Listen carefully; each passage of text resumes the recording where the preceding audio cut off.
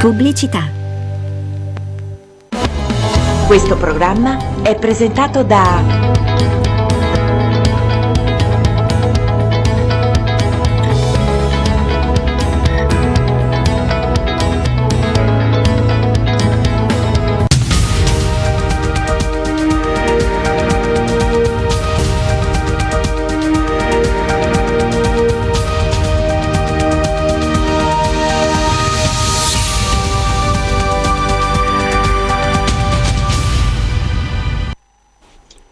Buonasera telespettatori di Telemia, benvenuto a un nuovo appuntamento del programma 60 News. L'argomento di stasera è gli errori dello zilastro di Cosimo Spramelli. La resa dell'Italia firmata il 3 settembre del 1943 a Casibele, piccolo borgo in provincia di Siracusa, dal generale Giuseppe Castellano e, annu- e annunciata indifferita l'8 settembre ai, microf- ai microfoni dell'IRAR dal generale Pietro eh, Badoglio, allentò le truppe italiane e al loro destino si salvi chi può. In questo volume c'è il resoconto, tormentato e commovente, di una pagina di storia del secondo conflitto mondiale, una cronaca della durissima ed eroica resistenza di ciò che rimaneva dell'ottavo battiglione del 185 reggimento della divisione Nembo del Reggio Esercito costituito dai giovani ventenni in greggio verde, chiamati a fronteggiare il nemico sullo spromonte, fra attacchi e incursioni. Una storia di coraggio, di abnegazione che lascia ammutoliti dove la vita e la morte si intrecciano al senso dell'onore e al rispetto della parola, della parola data, all'amor di patria e alla sportana volontà di donare se stessi. Il tragico destino dei, pa- dei para della divisione Nembo non lascia assolutamente indiffer- indifferenti e pone domande sul perché si sia arrivata a tanta durezza di cuore. Benvenuto dottor Spramelli e grazie per aver accettato l'invito presso i nostri studi televisivi di Telemia. Buonasera a voi, grazie a voi. È un, sempre dottor... un piacere e un onore essere insieme a voi e ai telespettatori che ci ascoltano e ci vedono. Il, il dottor Spramelli è un messinese, è un paracadutista, è stato per 40 anni in Calabria a servire lo Stato, a difendere le sue istituzioni militando nell'arma dei carabinieri, insignito dell'onorificenza di ufficiale al merito della Repubblica Italiana, nonché decorato di medaglia d'oro mauriziana e medaglia d'oro di, eh, di lungo comando ed è stato consulente della Commissione parlamentare antimafia durante la diciottesima legislatura.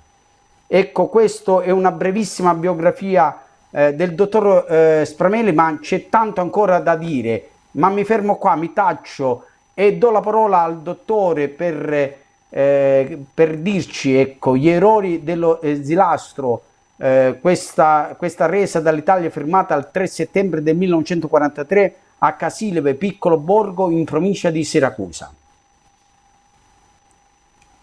Allora, ehm, entro subito nel vivo mh, mm, di questo libro.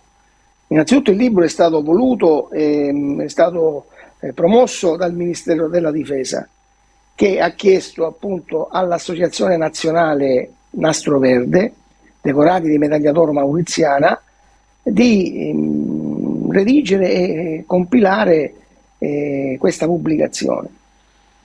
Io ovviamente, eh, tra l'altro mi vedete anche in uniforme sociale, sono il presidente della regione Calabria del, del nastro verde, appunto dei decorati di medaglia d'oro mauriziana, che è stata concessa dal Presidente della Repubblica per, per mh, dieci lustri eh, di servizio impeccabile, onorato e mh, soprattutto eh, senza mai eh, essersi eh, come dire, di fronte a situazioni ehm, delicate tirarsi indietro eccellenti per tutta una vita, mai essere stati ripresi. Dico questo giusto per dire l'associazione, non per, non per descrivere me stesso perché eh, non c'è bisogno.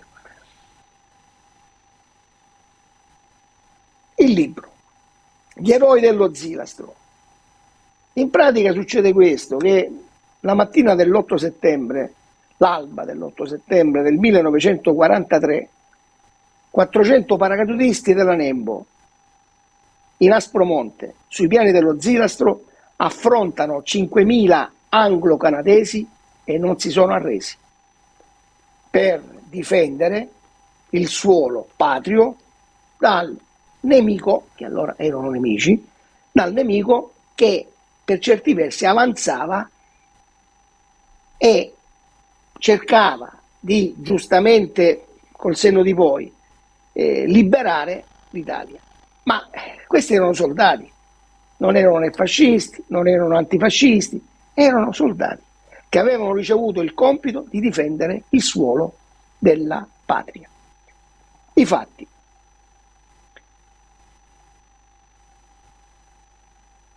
Sbarcano in Sicilia gli anglo-americani.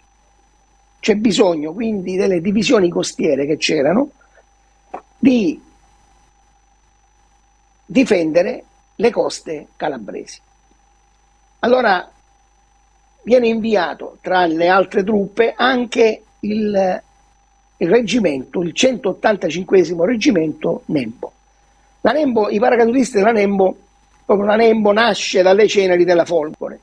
La Folgore si era immolata a El Alamein, come tutti sapremo, nel, nell'ottobre del 1942 anche lì 5.000, 4.000 eh, anglo ehm, della Folgore, paracadutisti della Folgore, che fermano per due mesi e qualcosa armate corazzate inglesi, senza mai arrendersi. Infatti furono chiamati per questo motivo i leoni della Folgore, perché Churchill dopo questa battaglia disse ma questi non sono soldati, sono leoni perché hanno resistito, addirittura non è che resistevano solamente, attaccavano gli carri armati, attaccavano e questi morti di fame, morti, ma quello che poi succederà alla nebbia.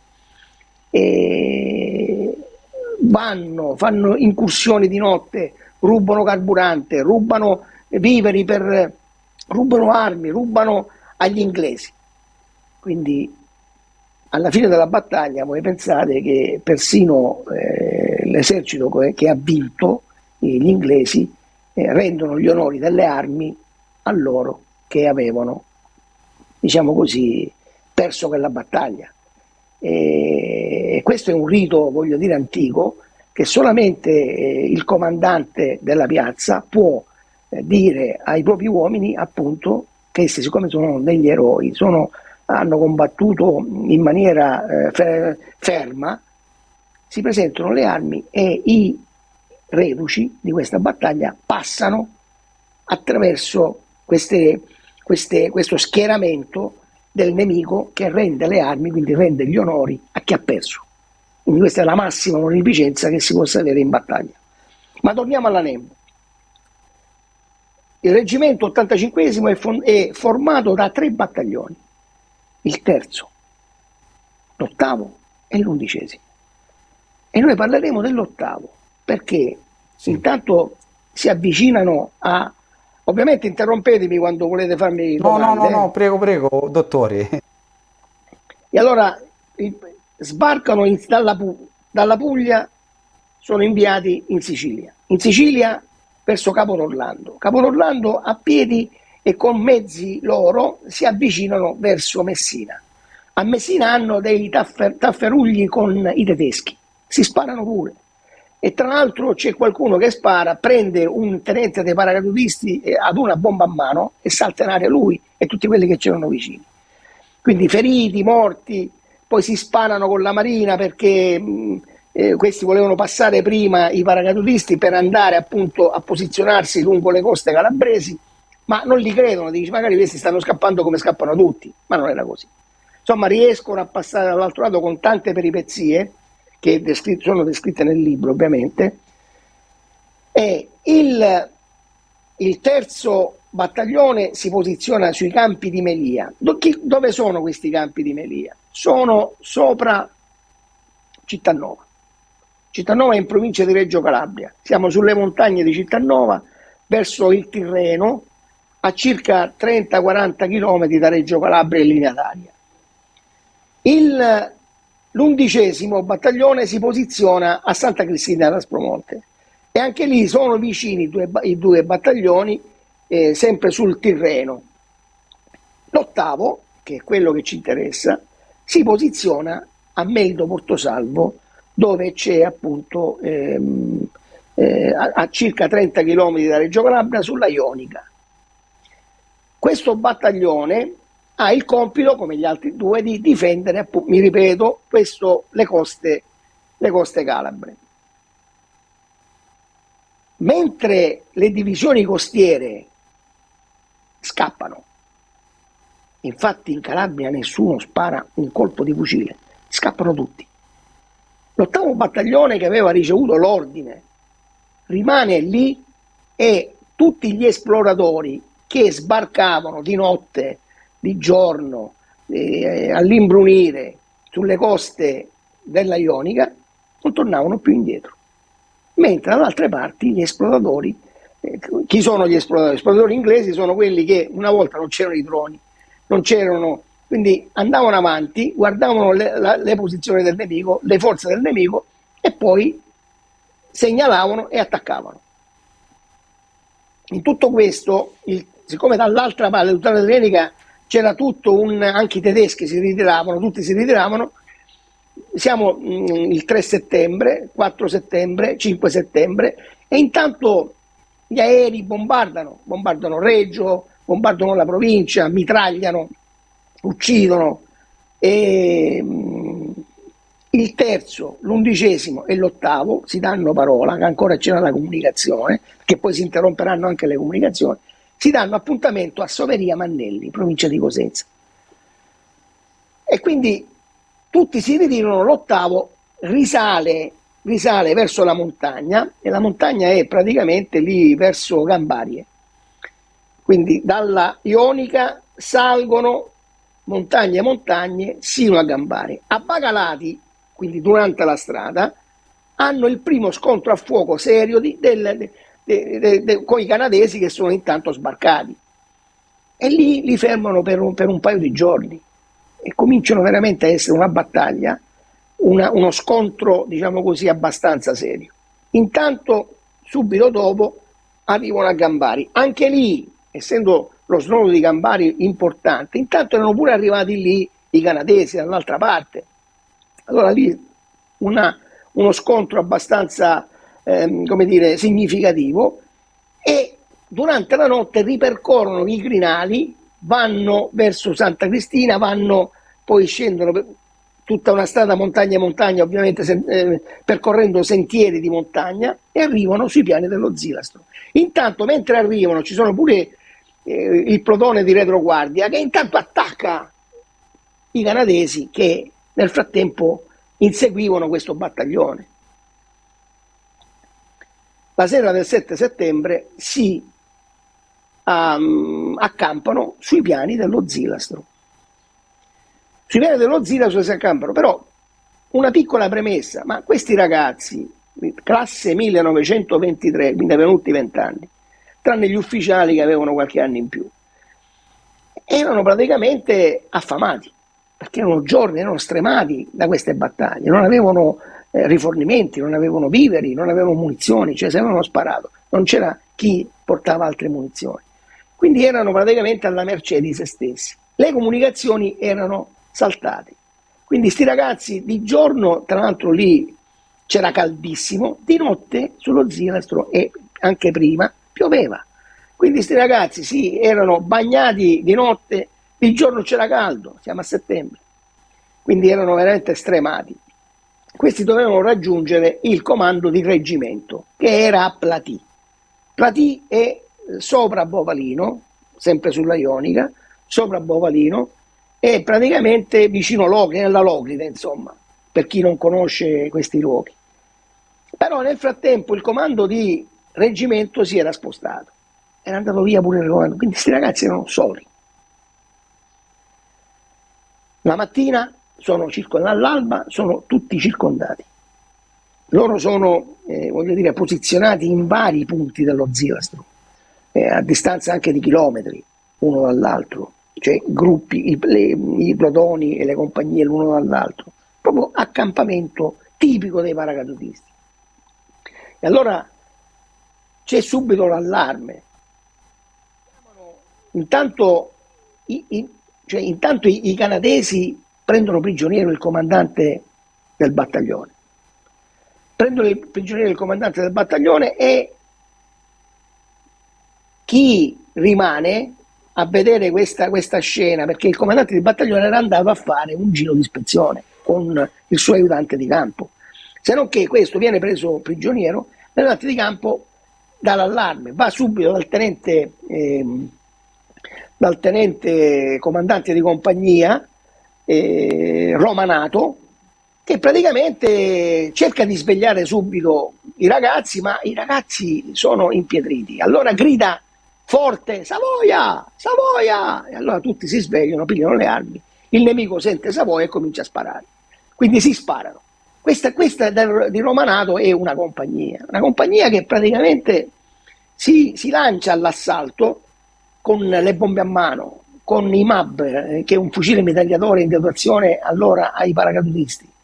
E però eh, vanno avanti, finiscono le munizioni e cercano anche con, eh, a un certo punto con, con i, a, a, un corpo a corpo col nemico con il calcio del, dei fucili, dei MAB, li usano a mo' di clava, quindi cercano di farsi strada in questo modo. E la, la, la tragica eh, scena è che il nemico, che sono superiori in armi, in numero, anche in riposo, scappano, si indietreggiano, però il fuoco nemico è tanto che uccidono, uccidono.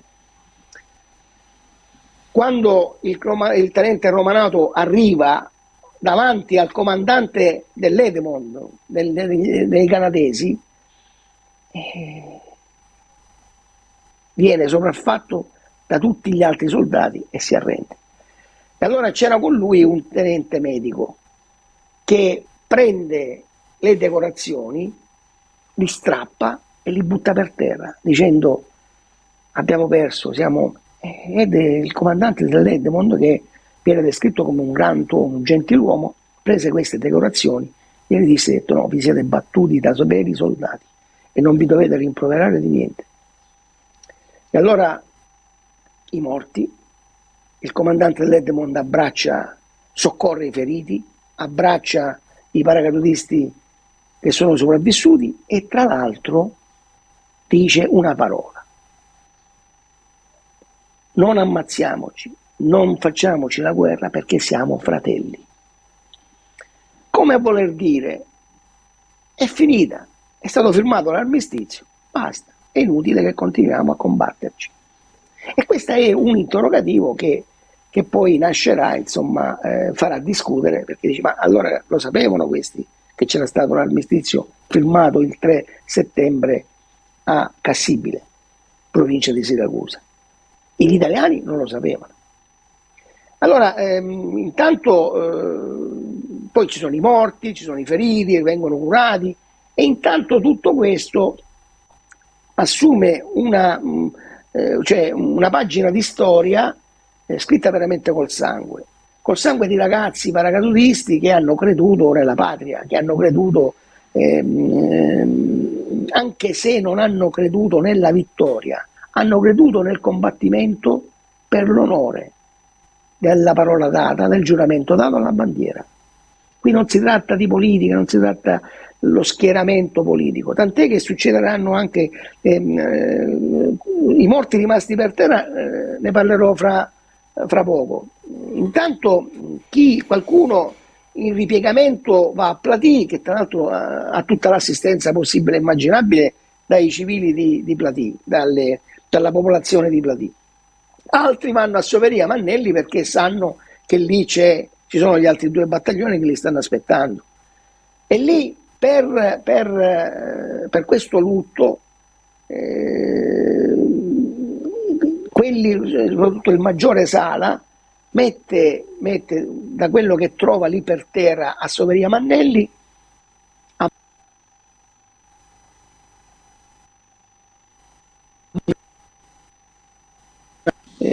un tricolore messo sul braccio, sull'avambraccio, all'altezza dell'avambraccio, un tricolore con una, una uh, striscia nera e con la scritta si fanno scrivere lì per l'onore d'Italia. Quindi per l'onore d'Italia, che poi viene usato nella Repubblica Sociale, è inventato, è messo, è attuato, è mh, pensato per lutto di questa battaglia. Che bello. Poi abbiamo che il terzo battaglione e l'undicesimo fanno delle scelte.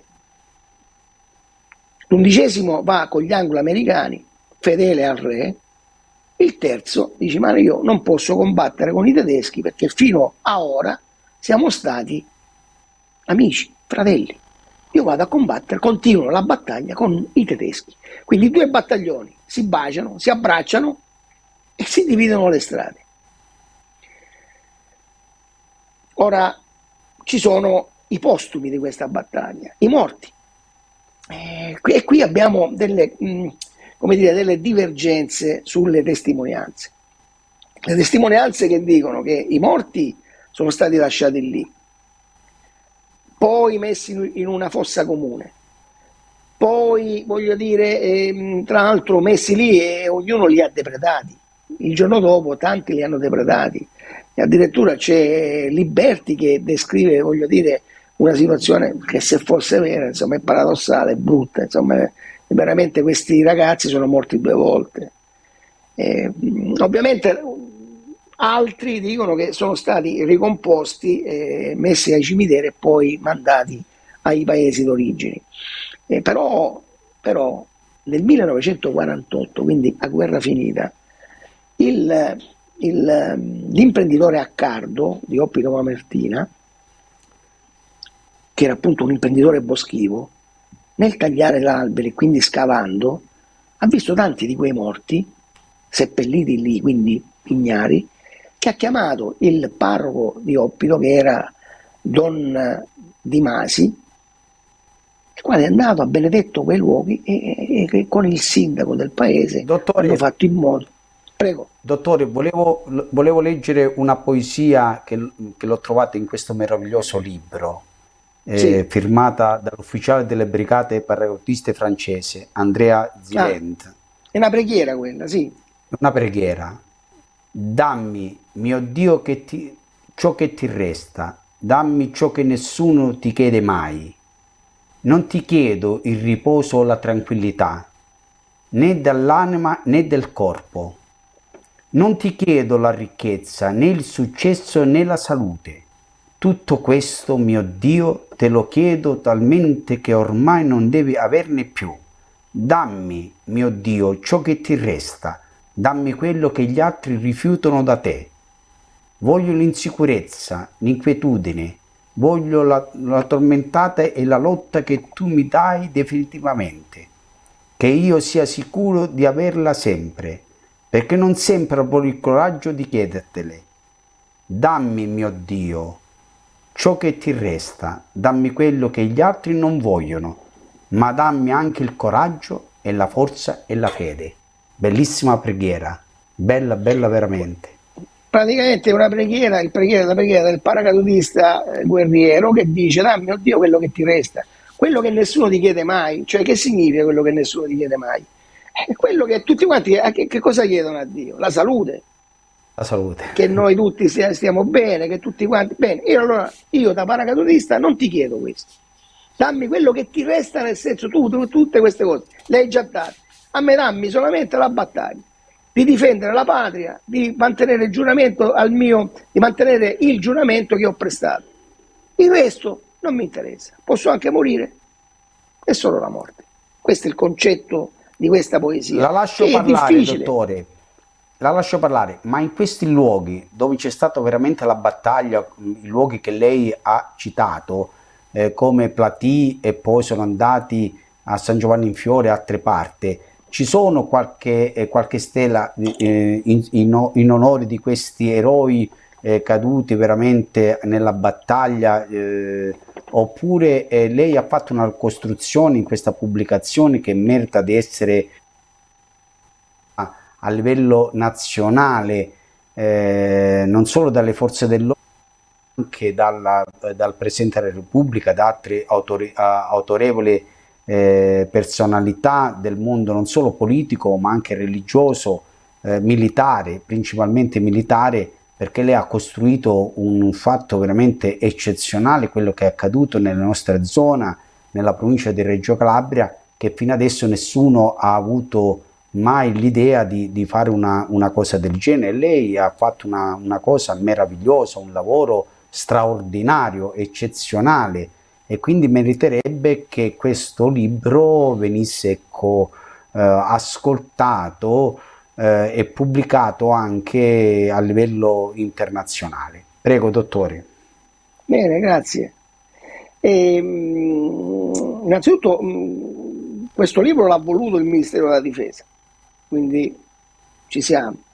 Poi lì nei luoghi della battaglia che sono stati praticamente, cioè, pensate voi che negli anni 90 la Folgore, la Folgore stessa di, di cui la Nembo fa parte, eh, la Folgore, tutte le istituzioni, non conoscevano questa battaglia. E a tuttora, quando eh, sono state fatte ricerche, perché tutto è basato soprattutto sulle testimonianze, eh, le ricerche che sono fatte, le ricerche eh, storiche che sono state eseguite, sono state eseguite con molta difficoltà. A tutt'oggi questa battaglia è segretata, cioè è coperta dal segreto, a tutt'oggi. Quindi è stato difficile ricostruire tutta, tutta questa, questa, come dire, la storia eh, antecedente, durante e dopo. È stato molto difficile. Voi pensate che la Nembo, secondo, secondo voglio dire, eh, insomma, le biblioteche dove sono costruiti i documenti militari risultava essere in Sardegna, cioè dire la Nembo in Aspromonte per certi versi non c'è mai stata, secondo gli archivi, eh, ma invece c'era.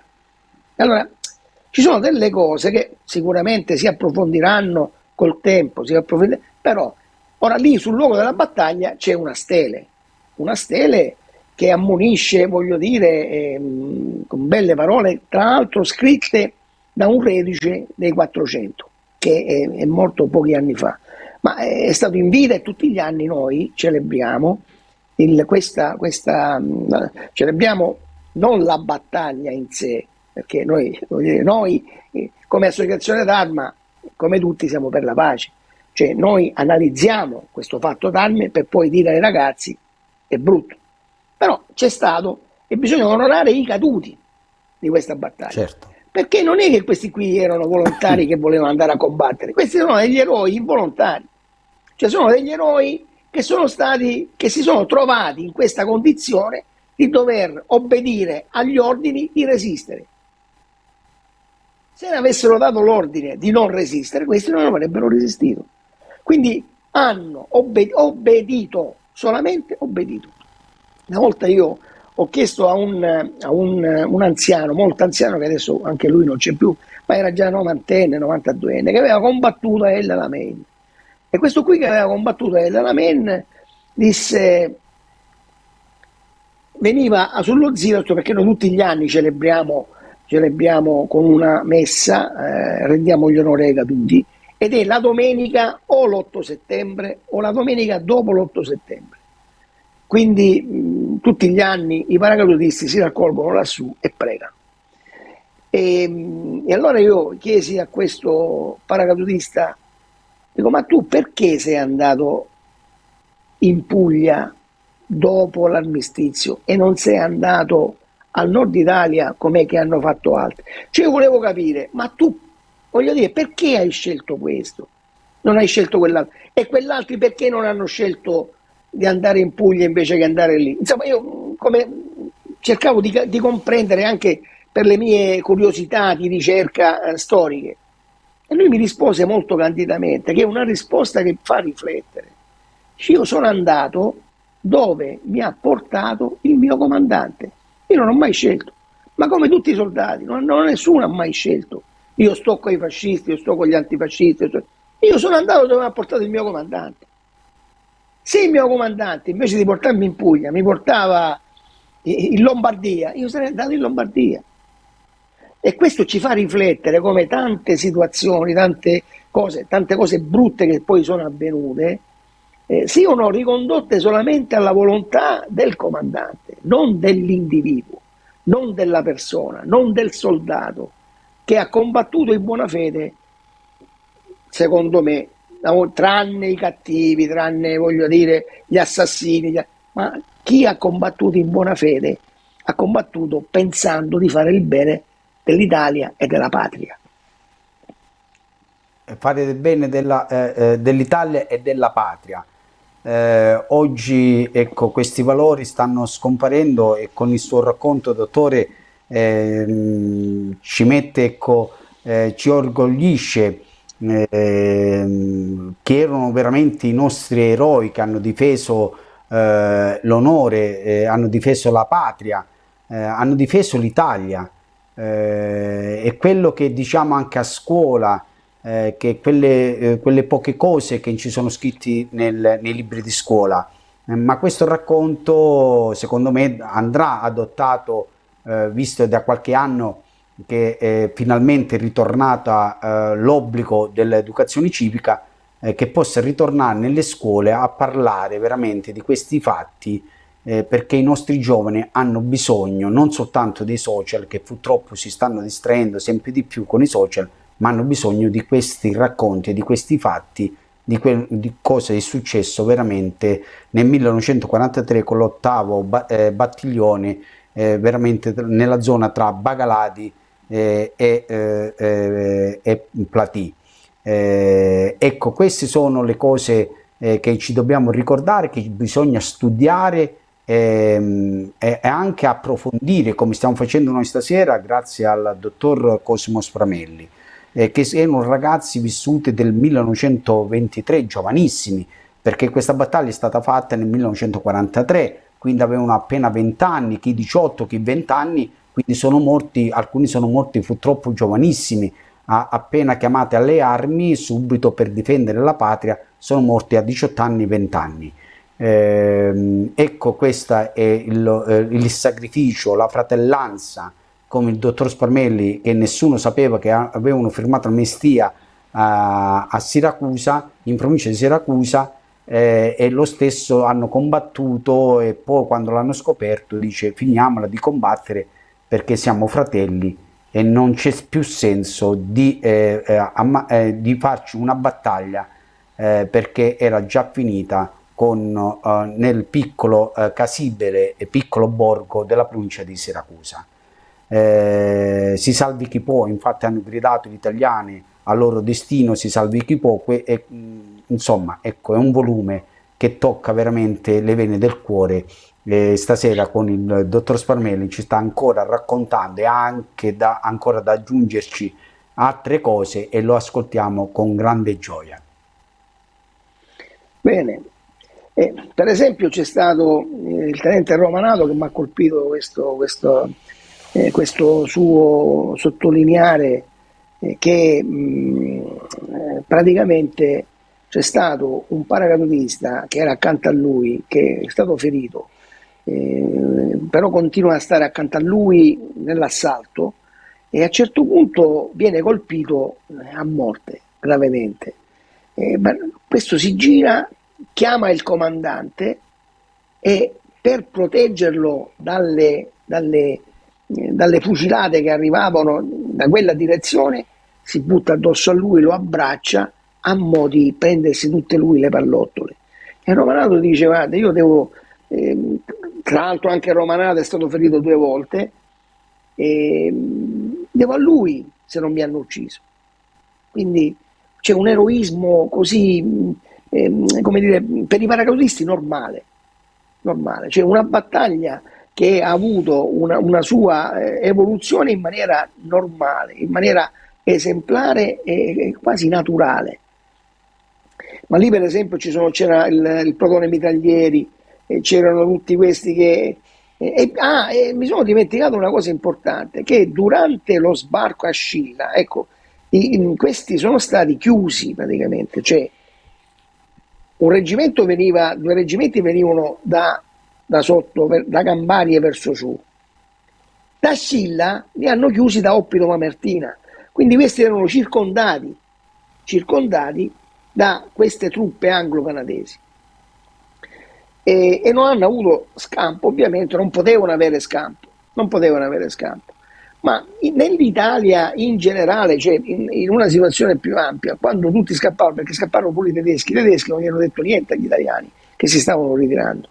Quindi anche la, la milizia costiera era convinta che avrebbe avuto il supporto dei carri armati tedeschi, ma i carri armati, senza dire eh, la divisione Panzer, senza dire eh, nulla agli italiani, si ritirano e quindi questi rimangono così. Dice, ma ma perché si ritirano? I tedeschi hanno una strategia, i tedeschi, gli italiani che si ritirano, eh, tanti si sono, hanno disertato, anche perché eh, la, i militari della, della, divisione costiera erano formati soprattutto da persone calabresi e siciliani e formati, voglio dire, all'aria infusa, non erano addestrati come soldati, voglio dire, veterani erano lì a un corso e l'hanno messi lì armati, quindi sono, hanno disertato quasi tutti. Cioè non è che si sono andati col nemico, il nemico di allora, ma hanno proprio disertato, se ne sono andati a casa. Infatti c'è un, nel libro, c'è recitato eh, di un ufficiale della, inglese che dice io ho visto queste truppe che scappavano, addirittura con i fucili messi così e, con appeso al fucile eh, una sacca dove dentro gli mettevano eh, qualcosa da mangiare, qualcosa, insomma, proprio... Eh, e poi dicevo, ho incontrato i paracadutisti italiani che invece tutt'altro erano proprio combattenti, erano soldati, erano eh, veramente, erano, eh, eh, sono stati l'orgoglio dell'Italia, l'orgoglio della patria. Quindi questi che scappavano poi alla fine hanno avuto la considerazione del nemico che erano dei vigliacchi, perché di fronte al nemico, voglio dire, eh, cioè, chi ha questo, o ti arrendi, ma non, non, non fai queste cose, cioè, eh, butti la giubba perché così non ti riconoscono che sei un nemico, eh, cioè, queste cose, cioè, non è, lo dico io, non si fanno, cioè, non, non, è, non è dignitoso. Ecco, cosa ci lasciano questi ragazzi da Ranembo come, come insegnamento? Non la guerra, ma che anche un ragazzo, quindi come i nostri ragazzi di vent'anni di oggi, cioè possono mantenere fede alla parola data, possono impegnarsi che di assolvere i propri compiti per come gli sono stati affidati. E in più la bandiera. Oggi quando si parla di patria, la gente si mette a ridere, dice, ma che è sta patria? Ecco, la patria è quella, rappresentata da quella bandiera, quindi dal Presidente della Repubblica, in questo caso, all'epoca dal Re, che rappresenta la nazione e quindi la patria. E c'è gente che solamente per questo è andata a morire. Dammi, oh Dio, ciò che ti resta, ciò che nessuno ti chiede mai. Io non ti chiedo, ma ti chiedo la battaglia, ti chiedo, e dammela fino a quando io posso avere la fede per credere in te e, e possa mantenere fede a quello che io sto dicendo. Non è facile. Però questi ragazzi lo facevano, quindi si può fare.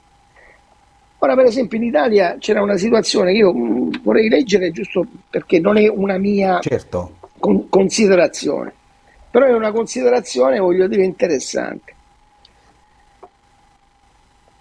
A distanza di otto ore dal proclama di Badoglio, sulla Tiburtina a Roma, dalle 4 alle 10 del 9 novembre, quindi il, l'armistizio è l'8 settembre, chiedo scusa, 9 settembre, l'armistizio è l'8 settembre.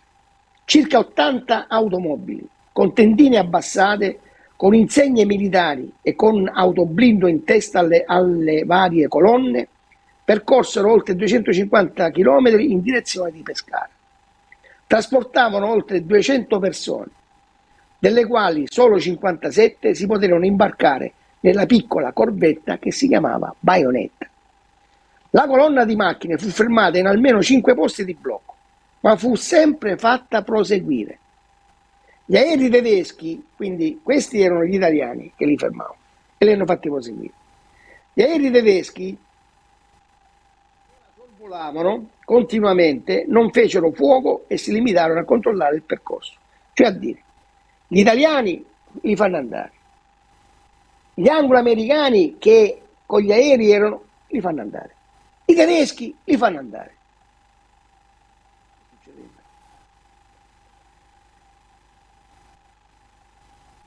Solo quando Baionetta entrò nel porto di Brindisi fu sottoscritta a Roma la resa delle truppe italiane. E qui c'è tutto un riferimento, riferimenti storici. Al di là di ipotesi più o meno suggestive in merito al presunto accordo, i vertici militari italiani non impartirono ordini all'esercito, né in Italia né nei Balcani, e non impedirono la liberazione di Mussolini, forse perché fare cosa gradita a Kesselring e a Hitler. Secondo l'americano, che in questi anni operava alle dipendenze del servizio segreto militare americano, i tedeschi poterono osteggiare più agevolmente lo sbarco anglo-americano a Salerno, scendendo da Roma con imponenti truppe di rincalzo dopo il ripiegamento ordinato alle due divisioni italiane, Ariete e Piave, che aprirono alla Panzer tedesca l'accesso alla strada per Salerno. In assenza di prove documentali le tante coincidenze fortunate rimangono interrogativi ancora insoluti, anche se alimentano forti e terribili dubbi. Ecco il quesito. È possibile che le forze armate italiane siano state abbandonate nel caos più totale in cambio di un salvacondotto per la fuga di quei pochi 57, tra cui il re, e anche la liberazione di Mussolini? Perché poi pensate, se non fosse stato liberato Mussolini non ci sarebbe stata la Repubblica Sociale. Quindi non ci sarebbe stata la guerra civile.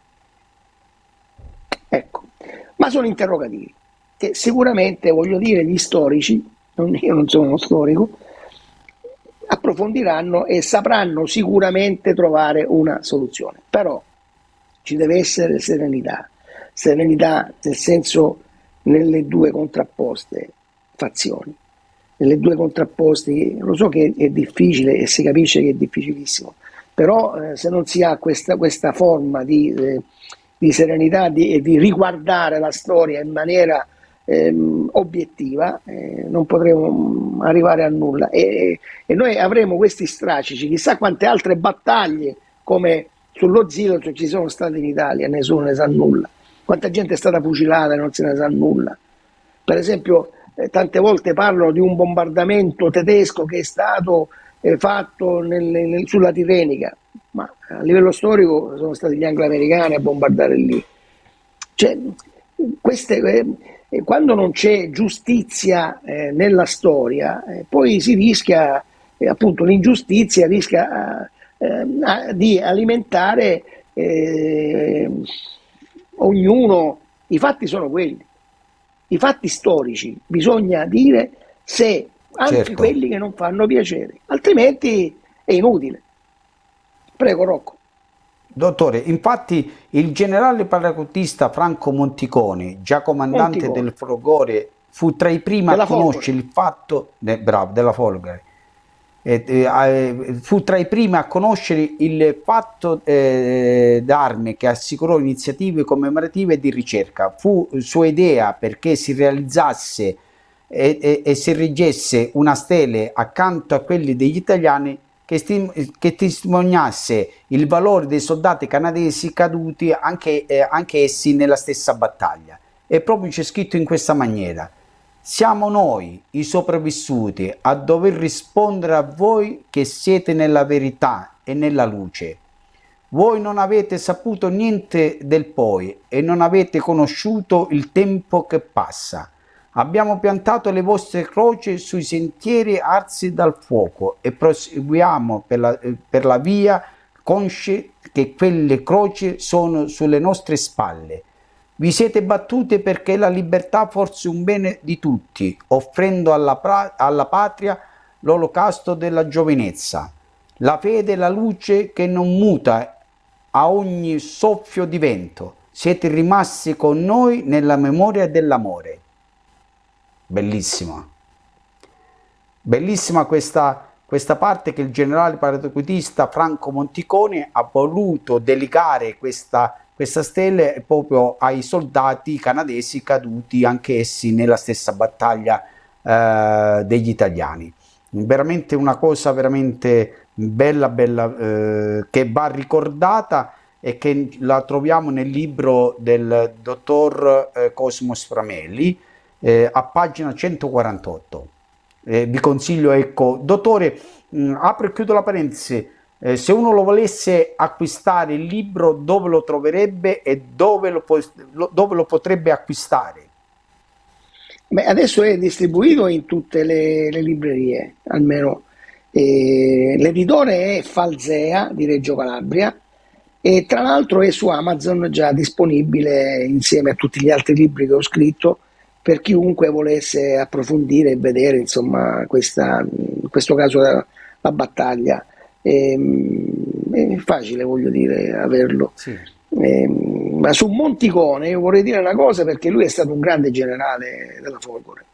E, ehm, lui si è sensibilizzato, lui non sapeva di questa battaglia ed è stato il generale, il, chiedo scusa, il giornalista Delfino a dirgli di questa battaglia perché questa battaglia era raccontata dai pastori. Questa battaglia i carabinieri lo, la conoscevano, i carabinieri di allora, e il papà del giornalista Antonio Delfino era Massaro Peppe, che era il comandante della stazione allora di San Luca e aveva sposato a Platì, quindi conosceva i fatti di questa battaglia. E poi tantissime le, le armi sono andate a finire di, questa, di, di questi ragazzi, bisogna anche dirlo tra parentesi, che sono andati a finire all'andrangheta. Tant'è che tanti MAB che noi ritrovavamo negli anni Ottanta non si comprendeva da dove venissero perché in nessuna caserma risultavano rubate queste armi, in nessuna caserma d'Italia. Quindi, ma da dove vengono queste armi? Ed erano di questa battaglia che noi non lo sapevamo neanche. Monticoni quindi fu informato dal giornalista Delfino, approfondì e poi siccome si è proprio calato in questi ragazzi, in questa sofferenza, in questo sacrificio, ha approfondito, ha visto che non c'era nulla, quindi poi gli approfondimenti, approfondimenti storici arriveranno dopo, però fece una cosa inter- interessantissima, cioè dire, fece arrivare il marmo da Carrara e lì a tutt'oggi c'è questa stele, questa stele che appunto eh, recita, eh, c'è una, una frase interessante, vediamo se riesco a trovarla, eccola qua, scritta da uno dei 400. Qui sullo Zilastro, epigoni di una guerra disastrosa, l'8 settembre 1943, suscitando l'ammirazione e il rispetto delle preponderanti forze anglo-canadesi, i 400 paracadutisti dell'ottavo battaglione del 185 reggimento della divisione Nembo combattendo per l'onore della patria, si coprirono di gloria. E questa eh, praticamente eh, questa stele che, eh, che ancora oggi eh, è lì e tutti i passanti si fermano, dicono una preghiera, l'ho visto io, tanti si fermano, si inginocchiano, pregano eh, perché lì in quella terra c'è stato versato il sangue dei nostri soldati. In più, stavo dicendo prima di Accardo, del, eh, quando benedirono quei luoghi, poi hanno eretto il famoso crocefisso di Zervò, grande crocefisso di Zervò, che nella copertina, nella copertina eh, verde, nella copertina del libro di colore verde, si intravede questo crocefisso che è stato eletto per la battaglia. Cioè la battaglia, questo il sindaco e il e Accardo, per, quanto, per quanti, quanti, morti hanno visto, hanno eletto per, per dare, come dire, impietositi da, da ciò che hanno visto, hanno eretto questa, battaglia, questa, questa croce grande, questo grande crocefisso. Il crocefisso, se voi notate nella, nella copertina, ha un buco qui, perché è stato, come dire, ferito da un colpo di fucile. Questo crocifisso aveva una pallottola al fianco, al fianco sinistro. Gesù Cristo ce l'ha avuto al fianco destro, questo, questi, chi ha sparato, un vile sicuramente, ha ferito, per così dire, ferito il crocifisso al fianco destro. Non so se si vede, ma è, è un po' offuscato, sì. però insomma... No, no, ce l'abbiamo noi, la sta facendo vedere il regista, la sta facendo ah, vedere beh. il regista la Sì, sì, sì, sì. E questo crocifisso appunto è cosiddetto di Zerbo, ma è dello Zilas, ma tutti lo chiamano di Zerbo, compreso io, e è stato eretto per questa battaglia, anche questo crocifisso. In più, da circa tre anni fa viene a commemorare, viene sui piani dello Ziastro, l'addetto militare del, dell'ambasciata canadese a Roma, l'addetto militare. Quindi noi tutti gli anni abbiamo l'addetto militare che, e c'è anche nelle foto, eh, l'addetto militare a rendere gli onori ai caduti, italiani e canadesi. E noi da tre anni rendiamo gli onori ai caduti canadesi e italiani. Anche lì sono stati adesso scritti i nomi dei canadesi caduti. Quindi sì. non c'è, ecco, la pacificazione, la pace. Non c'è chi è stato più bravo, chi è stato peggio. Non c'è chi, chi ha difeso la patria, perché come scrivo io, tutti hanno difeso la patria, perché ognuno di loro era stato inviato lì per fare il proprio dovere e per servire la propria patria. Quindi i soldati. Infatti i soldati hanno rispetto e, onore, e rendono gli onori ai soldati che si sono comportati tali. Io mi ricordo per esempio eh, che tanti prigionieri, mi ricordo veramente, stavo dicendo dell'andrangheta, che aveva sempre più rispetto dei carabinieri che facevano il proprio dovere, anche quelli più duri, quelli più, però quelli che, che veramente credevano nell'onore e nel proprio dovere, avevano più rispetto non avevano rispetto per chi tradiva l'arma, per chi ha tradito l'arma, per chi ha tradito la polizia, per chi ha tradito la propria istituzione. Perché giustamente pensano, ma questo anche in guerra, ma se tu tradisci la tua istituzione che ti dà per così dire da mangiare, ma figuriamoci se poi non tradirai pure me, quando non avrai più bisogno di me. Quindi la fiducia non c'era, la stima non c'era. Cioè, quando uno tradisce, non è una cosa, voglio dire, eh, dici tradisci, bravo, vieni con noi. No, non era così. Ecco, mh, mm, e questo è nel, anche nel, in una situazione eh, di, di, vita quotidiana, di vita quotidiana. Eh, perché, perché, voglio dire, l'andrangheta sì ha potuto avere tutte queste armi, con i sequestri di persona, quando fermavano le persone in Aspromonte per prelevargli i soldi, ci ne scrivevano sempre. Questo crocifisso grande che vedevano i sequestrati, dice ma io quando sono stato spostato mi vedevo un grande crocifisso ed era questo di Zerbo. Quindi lì perché? Perché proprio lì? Perché lì è, è un, crocevia, cioè da una parte c'è il Tirreno, dall'altra c'è lo Ionio. Il crocefisso dalle spalle a polsi. Quindi siamo Montalto, Polsi, Ionica, Tirrenica e dall'altro lato c'è eh, continuando ci sono le serre. Quindi eh, quello è proprio uno snodo importante.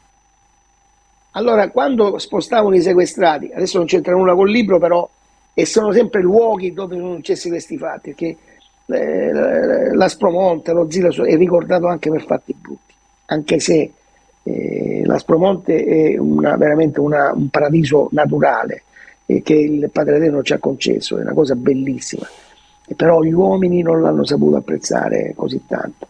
E, e lì sono state consumate tragedie veramente eccezionali, al di là della battaglia, ma anche con i sequestri di persona, con gli omicidi. E su in montagna, voglio dire, ci sono stati dei fatti veramente brutti, come i sequestri di persona a scopo di estorsione. I bambini sono stati tenuti in catene, lì è stato liberato Celadon, eh, che praticamente proprio lì vicino la battaglia, eh, dove praticamente una notte è stato liberato. C'è la donna che pesava alto 1,90, pesava 30-40 kg quando è stato liberato. eh, era stato tenuto in una buca per due anni, in una buca, con catena al collo ai piedi. E lui raccontava che faceva sempre la battaglia contro i topi perché i carcerieri gli davano da mangiare il formaggio e i topi di notte andavano e se lo volevano mangiare. E lui lottava con i topi affinché non gli mangiassero il formaggio. Pensate voi. Ecco, quindi eh, questa è l'Aspromonte, questa terra che è stata bagnata da tutte queste sofferenze, sacrifici, però, però ci lascia sempre una speranza di pace. Perché anch'io ho combattuto la mia battaglia per 40 anni, ho servito l'arma dei carabinieri e per, eh, consentitemi, ho servito la patria e l'ho servita avendo un privilegio di servirla in armi. Servire la patria in armi significa essere pronti a morire per essa senza mai nulla chiedere in cambio. E io non ho mai chiesto. Bello, bello, bello questo, bello. Infatti eh, il nostro tempo a disposizione, dottore, è finito. Eh, purtroppo eh, è, passato, è passato l'ora della trasmissione. Io la ringrazio. Eh, sicuramente torneremo ancora in questo argomento, la inviterò eh, prossimamente eh, perché vale la pena ascoltarla, è sempre interessante quello che scrive, quello che, che dice, insomma è un saggio, uno scrittore, è un, veramente un servitore dello Stato come lei stesso eh, ci ha sottolineato.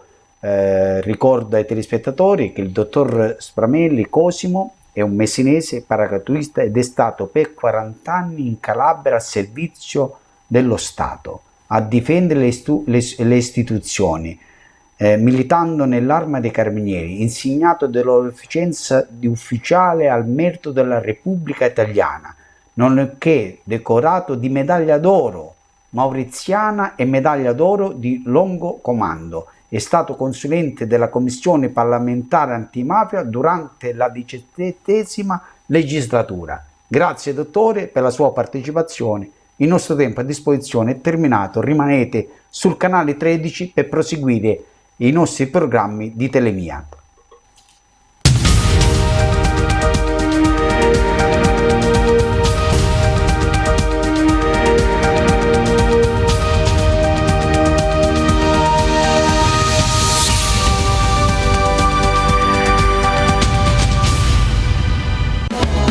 Questo programma è presentato da